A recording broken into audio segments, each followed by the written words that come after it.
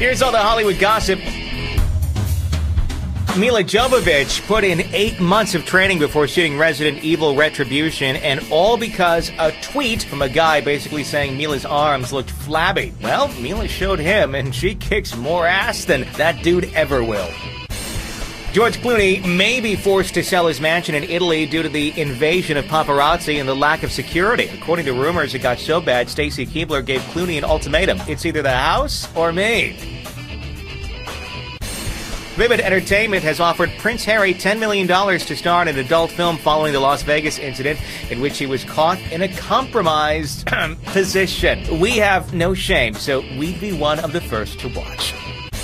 Zoe Saldana always looks chic, and it's all thanks to her grandmother's style influence from a young age. Not to mention Saldana's Hollywood inspiration of Sienna Miller and Julianne Moore, who are known for their effortless beauty.